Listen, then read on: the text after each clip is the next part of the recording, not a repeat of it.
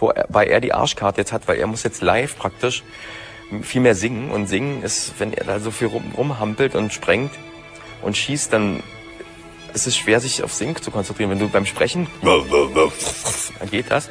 Aber beim Singen ist es schwer, gleichzeitig äh, mit dem Flammenwerfer zu schießen.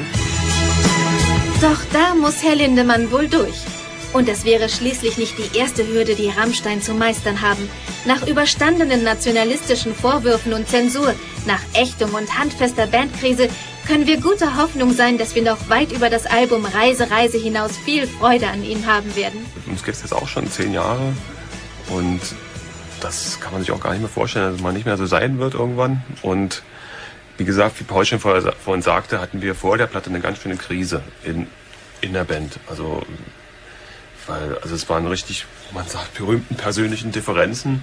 Wir haben einen neuen Weg gefunden, eine neue Variante, wie wir weiter, also in einer Art, bisschen anderen Konstellationen Musik gemacht haben. Und mittlerweile ist es alles schon so lange, dass man kann schon richtig von einer alten Band sprechen. Und niemand würde wohl gern sich vorstellen, dass es irgendwann mal nicht mehr so sein wird.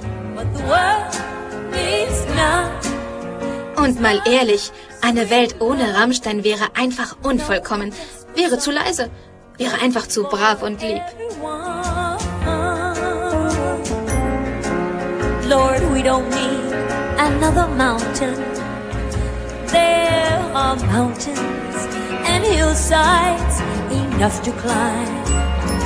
There are oceans. Zurzeit mag ich persönlich alle, wirklich ich habe die alle lieb und ich freue mich, dass sie noch am Leben sind.